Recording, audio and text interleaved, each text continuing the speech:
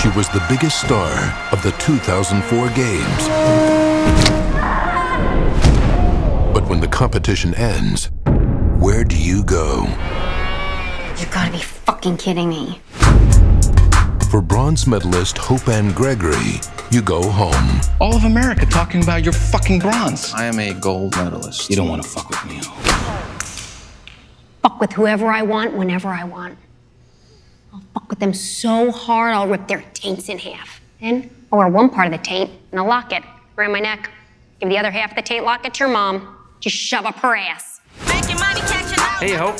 Twitchy. Yeah, uh, no one really calls me that anymore. Uh, in fact, you were the only person that, that did. You look so different. Oh, really? But that's still there, so now I say it. I'm a bossy ass bitch. Check the resume. Have you thought any more about working at the gym? I'm not a coach. I'm a star. Was on Dancing with the Stars. It's not called Dancing with the Coaches. I'm gonna show you how to be judge bait. Cute to the right, cute to the left. Not I'm cute. Not I'm cute. Sell it to the bitch ass judges. Word up.